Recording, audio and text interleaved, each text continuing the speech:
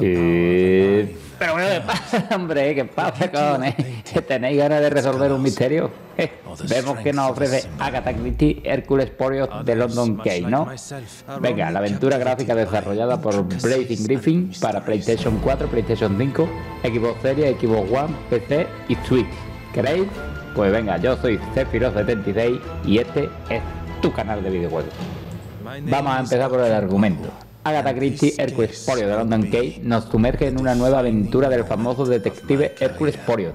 En esta ocasión, el detective se enfrenta a un caso de robo de una valiosa obra de arte en Londres. Encargado de la protección del cuadro robado, Poirot se ve obligado a investigar la identidad del ladrón y recuperar la pieza perdida. Esta entrega continúa las aventuras del detective, presentando una versión más joven del mismo y explorando la mecánica de investigación central que caracteriza a la saga. ¿Qué es lo que nos vamos a encontrar referente a la jugabilidad en The London Case? Este juego se centra en la investigación y resolución de puzzles. El juego presenta una mecánica de tablón de ideas, donde los jugadores deben unir conceptos y razonamientos para avanzar en la investigación. A través de la exploración de los entornos y la interacción con objetos, los jugadores deben encontrar pistas y conexiones relevantes para resolver el misterio. Además, el juego introduce diálogos con otros personajes, como el compañero de Poirot, Hastings, quien plantea preguntas que requieren respuestas basadas en la, en la investigación. Básicamente, el juego se enfoca en la narrativa y la exploración de entornos, ofreciendo experiencias inmersivas en la resolución del misterio y una aventura gráfica de vieja escuela, muy bien diseñada. Modo de juego no vamos a encontrar solo únicamente con el modo aventura, el que cuenta el juego. En cuanto a la duración, el juego estará dividido en varios capítulos. La suma del total de estos capítulos sería sobre unas 6-7 horas. Esto siempre dependerá mucho de nuestra habilidad para resolver los acertijos. Ojo, igual te lo puedes acabar en 5 horas si eres un fenómeno o puedes tardar 10 horas si te cuesta un poco más de trabajo. Depende de nuestras habilidades. El tema gráfico presenta una representación visual en 3D, con un enfoque realista en comparación con otras entregas de la serie.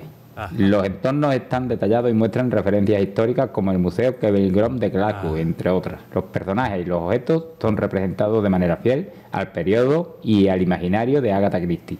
Aunque los gráficos en general son de calidad, hay ocasiones que se pueden notar detalles como personajes hablando sin movimiento de boca, animaciones un poco incoherentes y algún que otro fallito gráfico.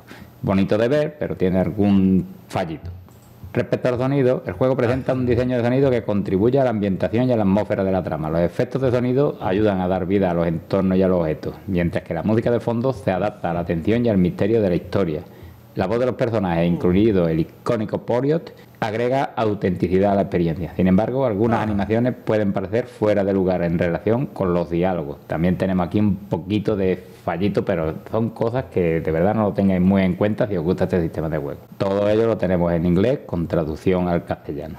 ¿Y cuál es mi conclusión respecto a Agatha Christie y Hercules Poirot de London Case? Que ofrece una experiencia distendida dentro del género del misterio, manteniendo así la esencia de la saga y la atmósfera características de todas las obras de Agatha Christie. Aunque algunos elementos, como la mecánica del tablón de ideas, pueden sentirse algo simplificados en ocasiones y confusos, el juego logra mantener el interés del jugador a través de una trama directa y puzzles accesibles.